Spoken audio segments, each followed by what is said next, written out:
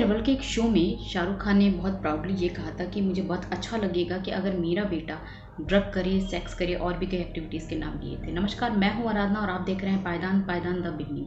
मुझे लगता है इन दिनों शाहरुख से ज़्यादा प्राउड फादर और कोई नहीं होगा, क्योंकि ऐसा बहुत बार सुनने में आता है और कहा जाता है कि जिस फादर के बच्चे या बेटा उसकी बात को सच साबित कर दे सार्थक कर दे तो उससे ज़्यादा प्राउड की बात और किसी फादर के लिए नहीं हो सकती। तो मुझे ऐसा लगता है कि Shahrukh you should be very much proud on your son क्योंकि हाल ही में आर्यन खान शाहरुख के बड़े सुपुत्र आर्यन खान एक क्रूज ड्रग पार्टी में रंगे हाथों पकड़े गए। एनसीबी ने वहाँ एक छापा मारा और आर्यन खान वहाँ पे अपने कई दोस्तों के साथ रंगे हाथों पकड़े गए।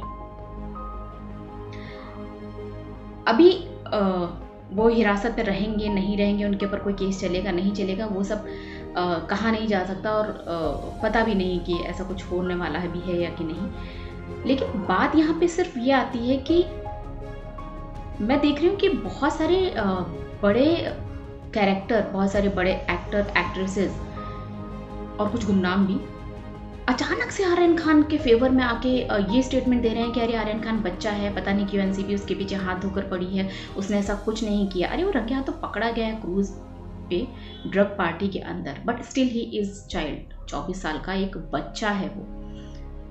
फिर चाहे वो सुनील शेट्टी हों, चाहे अजय देवगन हों, चाहे आलिया भट्ट हों, चाहे मिक्का जैसे कुछ और भी कलाकार। एक से बढ़कर एक सामने आके स्टेटमेंट दे रहे हैं। इनफैक्ट हम सलमान खान को कैसे भूल सकते हैं? हालाँकि सलमान शाहरुख के बहुत अच्छे दोस्त रहे हैं और अभी भी उनके कोई भी प्रॉब्लम होती है तो मुझे लगता है सलमान सबसे आगे बढ़कर उनको सपोर्ट करते हैं। हाँ वो एक बात और है कि एक दौर था जब उनके सलमान और शाहरुख के बीच में थोड़ी सी रिश्ते में खटास आई थी। लेकिन अभी मैं यहाँ देख रही हूँ कि हर बड़ा कलाकार आर्यन खान को प्रोटेक्ट कर रहा है। आर्यन खान के बारे में अच्छी अच्छी बातें बोल रहा है, जैसे आर्यन खान दूध के धुले हुए इंसान है। वो किसी ड्रग पार्टी में नहीं पाए गए थे वो किसी मंदिर में पूजा करते हुए पाए गए थे जो बहुत अच्छा काम कर रहे थे तो ये सब उनके सपोर्ट में आ गए हैं। यहाँ पे बहुत सीधी सी बात नहीं सम, समझ में आ रही है क्या किसी को कि जब सुशांत सिंह राजपूत जिन्होंने सुसाइड किया था या उनका मर्डर हुआ था आज तक क्लियर नहीं हो पाया तब ये दिग्गज कलाकार तब ये बॉलीवुड के महान कलाकार कहाँ थे? तब किसी ने एक बार भी बढ़कर ये क्यों नहीं बोला कि हाँ शायद कुछ तो गलत हुआ होगा इसके साथ? वो एक सिंगल फाइटर था, उसने अपनी लाइफ में जो भी अचीवमेंट्स किए, वो खुद के दम पे किए। वो किसी बड़े स्टार का बेटा या बड़े डायरेक्टर का बेटा या किसी इंडस्ट्री से बिलोंग करता हुआ इंसान नहीं था। शायद यही एक, इसी इसी को कहते हैं, यही एक बड़ा एग्ज़ाम्पल है निपोटिज्म का। ये बॉलीवुड में नेपोटिज्म टाइम टू टाइम अपना अपना रूप दिखा देता है फिर भी लोग कैसे इग्नोर कर सकते हैं इन चीज़ों को।